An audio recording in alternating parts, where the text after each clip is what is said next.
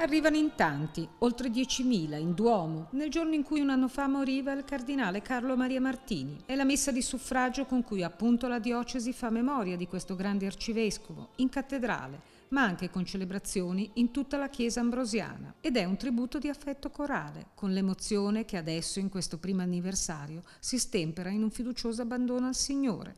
Tra tanta gente semplice e nota ci sono anche la sorella del cardinale, signora Maris, il nipote Giovanni. Sono presenti rappresentanti delle istituzioni civili.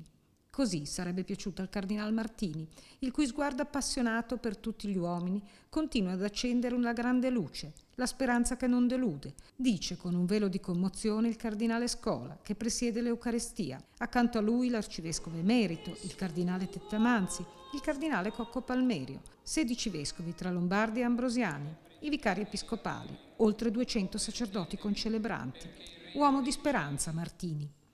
L'arcivescovo Carlo Maria fu un indomito portatore di questa speranza affidabile, come la definisce con bellissimo aggettivo Benedetto XVI nella Spesalvi.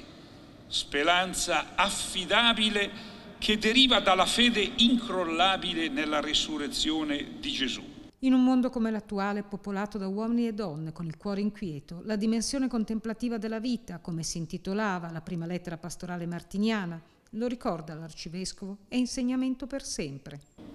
Per questo la ricca complessità della sua persona e del suo insegnamento non cessano, come voi testimoniate, di interrogare uomini e donne di ogni condizione. In questa prospettiva va letto l'intero generosissimo episcopato del cardinale Martini, che fu sulla cattedra di Ambrogio e Carlo dal 1980 al 2002. Questo insegnamento, riletto ora, riletto questa sera, alla fine del suo pellegrinaggio terreno, esprime bene il centro, il cuore della sua personalità, che noi tanto amiamo della sua testimonianza di vita, della sua azione pastorale, della sua passione civile e, non ultimo, dell'indomito tentativo di indagare per quanto possibile gli interrogativi brucianti dell'uomo di oggi. Infine la processione e la preghiera alla sepoltura del cardinale, con la gente che sembra non voler lasciare mai il Duomo.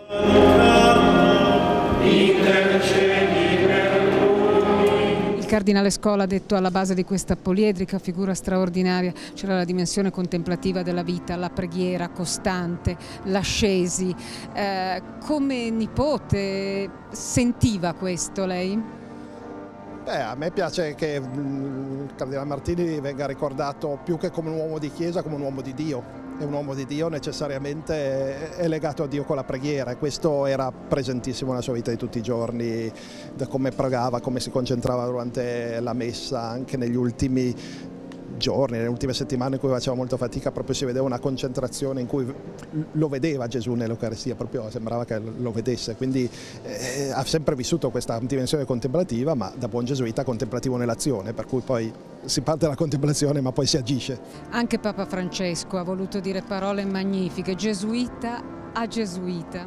Ah, ieri sì, appunto abbiamo avuto questo meraviglioso incontro con Papa Francesco che già lo vedevamo in televisione spontaneo, ma vederlo dal vivo è ancora più affettuoso, ancora più spontaneo, ancora più tenero, posso dirlo, questo te, terzo termine di un Papa perché è, è, così che credo che gli piacerebbe essere eh, definito. E, e, appunto parlava di un, suo, di un suo collega gesuita citando un episodio del 74, quindi assolutamente in tempi in cui tutti e due erano due gesuiti e, e non famosi, pensa, poi uno è diventato arcivescovo di Milano, l'altro è vescovo di Buenos Aires, vescovo di Roma, è incredibile appunto come già da allora si fossero trovati d'accordo su tante cose, appunto il Papa parlava esattamente in quegli anni, il tema della giustizia sociale sembrava una roba da marziani, adesso è, è la base della pastorale della Chiesa, per cui è, è bello come l'abbia ricordato dopo 40 anni da quegli episodi con, con, con affetto proprio.